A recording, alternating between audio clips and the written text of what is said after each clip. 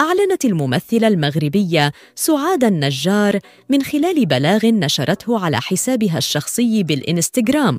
عن تأسيسها يوم أمس الأربعاء لمؤسسة محمد البسطاوي للفنون الدرامية والتي ستهتم بكل ما هو فني وثقافي